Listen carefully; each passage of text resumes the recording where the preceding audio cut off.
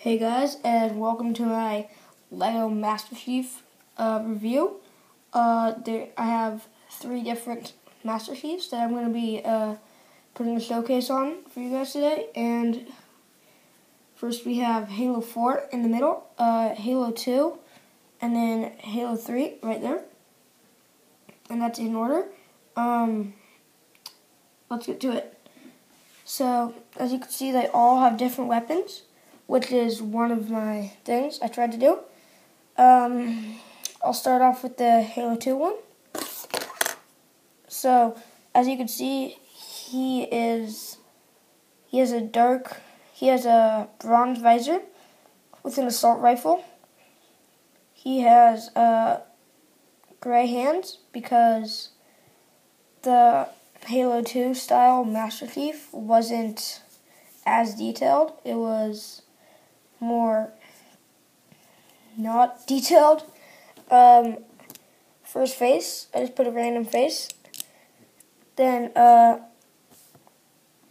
so he is the second Master Chief I got. Uh, I got two of these off Brickforge, and then uh, one of them off Clone Army Customs, uh, which are both great deals. And that sums it up for him. Next, we have our Halo 3 Master Chief, which is um, probably one of my favorites.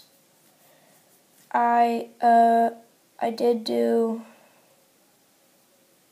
I did uh, put that black spot there on the Magnum. Um, I also put this like detail right there and on the back of his helmet. This also has a random face. Um, but this one has a gold visor, which is cool. And uh, he has green legs, black hands instead of gray, because this one is the more detailed one. And this one, uh, it does not have, uh, it has a magnum, which I, and I got all this stuff off Brickforge too. So I suggest you go there again and that sums it up for him. Next, we have the Halo 4 Master Chief, which is one of the coolest. He has a visor design, as you can see there. If I go like that. And then, if you turn him around, he has more design. If you compare it to this, see, this is different. This doesn't have as much design. But, and I put some detail on the back. This one has a plasma pistol which is uh, uh, my brother got this for me. I think he got it off Clone Army Customs. But this one also has vambraces. Um, it has detail in the back.